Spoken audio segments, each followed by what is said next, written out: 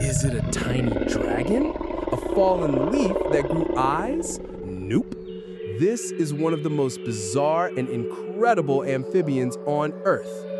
Meet the Spix's horned tree frog, a master of disguise from the Amazon rainforest.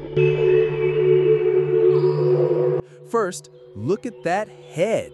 It's a massive triangular shield, which is what its scientific name, scutatus, literally means.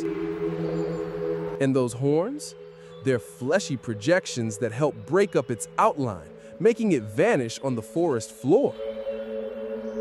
This isn't just for defense, it's an ambush predator. It sits perfectly still, waiting for anything it can fit in its enormous mouth to wander by, including other frogs. But here's the most amazing part. Look closely.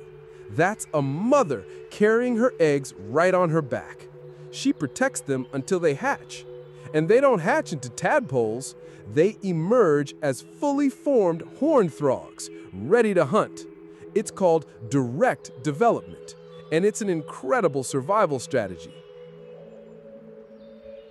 A leaf mimicking dragon, a fearsome predator, and a devoted parent. The Spix's horned frog is proof that nature is full of unbelievable creatures.